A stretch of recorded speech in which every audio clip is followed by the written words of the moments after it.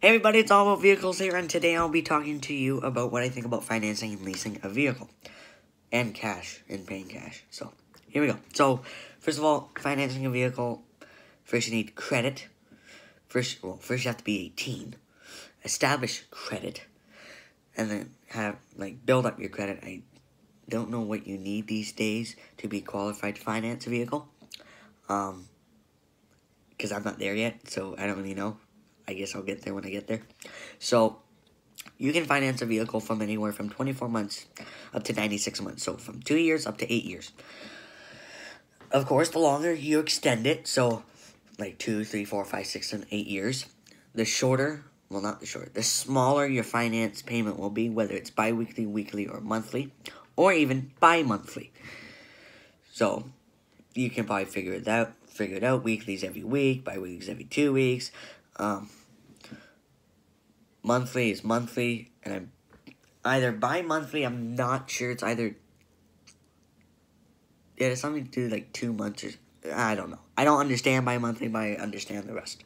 So, of course, if you finance a vehicle for 24 months, you're gonna have outrageously big, uh, whether it's weekly, bi-weekly, or monthly, or bi-monthly, whatever you choose. Your finance payments are gonna be really, really, really high. Like you're talking in the thousands because especially if the car is let's say fifty thousand dollars in one year you will have to pay twenty five thousand plus interest. Remember that? There's always interest. Uh, you can have some like nine percent interest. So it's a percentage that you have to pay on top of your finance payment. So what you have to do is what a lot of people should do and especially I'm not account. I'm not saying this is the best thing to do, but this is what I've been told. That if you ever want to finance a vehicle, do not go over six years unless you necessarily have to. Okay, if that price is not within your range, that's the only time you should be going over six years or 72 months financing. Also, keep your your interest rate low. I would say probably under 3% if you can do it. If you're just starting out your credit, you'll probably have an 8 year like I'm going to say maybe 2.99% interest rate. It could be much higher because you're just starting out. Um, and usually, when you are starting out your credit and you want to finance a brand new vehicle, what you want to do is get the cheapest, most basic model. But you know, people these days, they overspend where they want to, and they wonder why their car payment is uh, like a lot. So, you know, you have to sacrifice for, you know, especially if you're like, let's say 19, you like have okay credit, and you want to finance a vehicle, just get the cheapest car you can get. Like, I'm not saying it has to be like a Chevy Spark. I'm just saying like, let's say Kia Rio, you know, that kind of car. Like basic model stripped down. Maybe even a stick. Maybe it has a manual transmission. I don't know. Whatever it has. But try to get the most basic model. Therefore, it keeps your um, bi-weekly payments or monthly payments, whatever your finance payments are, lower, and it will make it, in the end, more affordable. So, with that in mind, you have to make sure that it fits your budget. If you can figure out your budget, um, yes, I know people that have bought eighty-five thousand dollar like Ford F one fifties. I'm you're nuts, and they financed it for forty-eight months. I'm like, wow. You know, you're talking 20,000 plus, you know, a year just to pay off your finance payments, to own the truck outright, or vehicle, whatever it is, car, van, whatever. So, remember, you have technically bought the vehicle, but you don't technically own the full amount of it. So, we have to remember, financing is you bought it, yes, it's in your name, yes, it's insured in your name. I know that. But you don't 100% own it till you pay the car off, aka finance payments. Get it? Okay, good. We're moving on. Moving on to leasing. Leasing is what they like to call, or what I like to call, long term rental. So, you don't own it, you borrow it technically. In terms, you practically borrow it from, let's say, Honda. Let's say, you know, like some Honda dealership, okay? So, let's say you leased a Honda Pilot, okay? And with tax in, this is Canadian, remember I'm Canadian, so it's Canadian dollars. In in Canada, this Pilot cost with tax uh, $53,000. Okay, so we have a $53,000 Honda Pilot and you want to lease it. So you can you can lease it for 2 years, you can lease it for 3, 4 and 5 years. That's as, long as I can I've seen it. Most people do 3 to 4 years because you know after 4 years some things start to uh, break down um, to say to speak kind of so you have to move on from that so what I'd like to do is when you lease a vehicle, please do not do it over five years. Please, please, please, please, please. Because I know you're also, also with leasing, you have a mileage or kilometer limit. You can once you go over that, you have to pay like let's say five cents to a kilometer or something. You you are now there's a fee. The fee is you have to pay a certain amount of cents um, per mile or kilometer you drove over your maximum only. So let's say you have five year uh, 60,000 mile cap and or 100,000 kilometer cap. If you surpass that, you will be charged a fee for every kilometer or mile you go over, which sucks. You don't want to do that.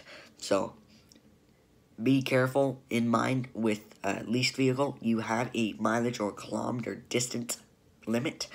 Um, it's really a limit uh, more than a maximum because if you surpass the limit, you have to pay.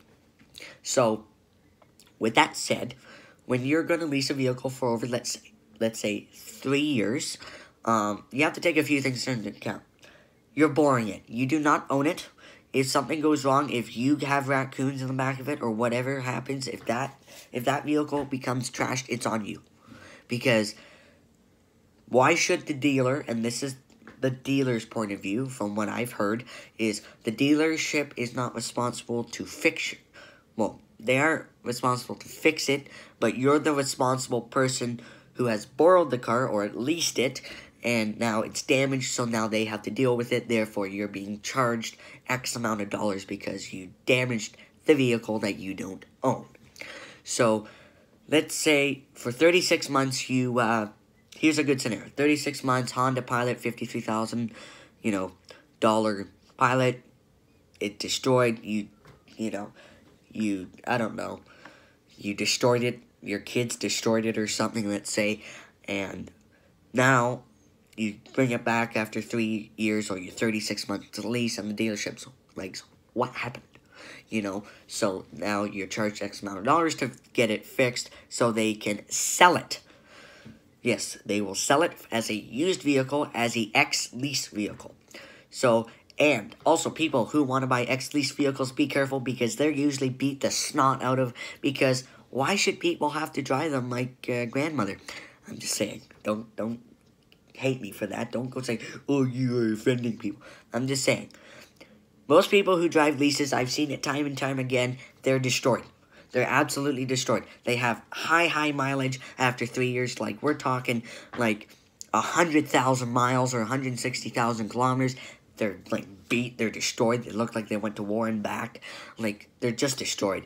Don't buy a ex-leased vehicle. If you're to buy a used vehicle, make sure you get, like, a Carfax report on it or something, or CarProof report here in Canada, and make sure it was not an ex-rental. Because let me tell you something. Nobody cares about rental. They will beat it, trash it. They don't care because it's not theirs, is it?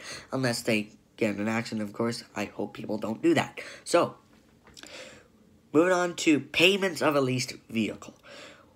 Leased vehicles, you know, you're going to pay, you know, of course, money to borrow it. Um, but at the end of your lease term, you have the option to buy the vehicle for X amount of dollars, which is usually under um, market value, usually. So, if you really needed a car by then, and you didn't want to release, and you had, let's say, $20,000 on you in cash ready to buy a vehicle, and you happen to, upon wanting to keep your $53,000 Honda Pilot, yeah, you can buy it from them. And of course, you have an automatic discount because you have leased a vehicle from them.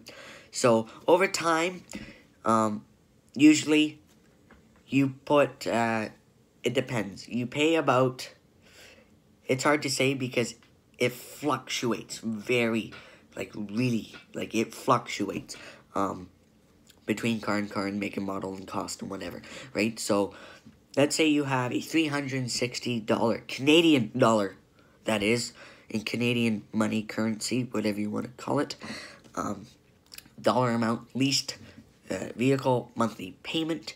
They're usually monthly. That's all I really I've seen them. Apparently, you can do them bi-weekly. I don't know. That's up to you to tell me. I'm not a finance expert. I'm just telling you what I've known about this. And I'm pretty darn accurate. So with a leased vehicle, you have to remember that you're going to pay, let's say, 360 a month, right? And in, you know, 12 months, it's going to be, you know, like four grand. You know, surpassed four grand or whatever, right? So in three years, it's, let's say, 12 grand, let's say. And, you know, you have to figure out that, you know, that's 12 grand off of what you bought the van for, whatever your vehicle is, right?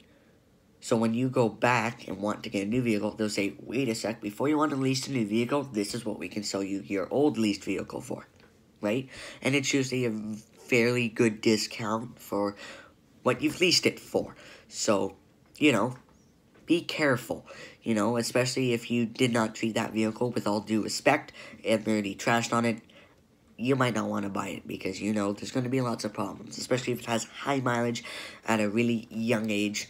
Um, usually, the the saying goes 10 years, um, 140,000 miles, or 260,000 kilometers every 10 years. Yeah, my father only came to 127 in his last truck. Woo! Nine, nine years. There you go.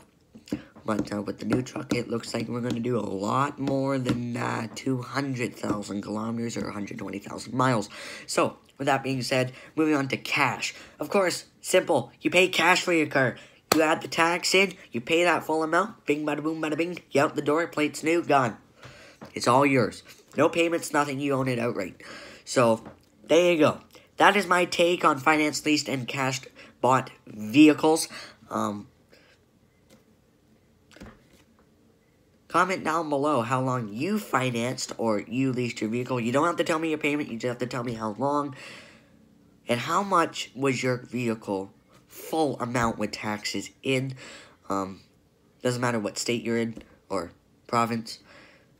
Just give me a rough estimate number. It can be rounded, like $62,000.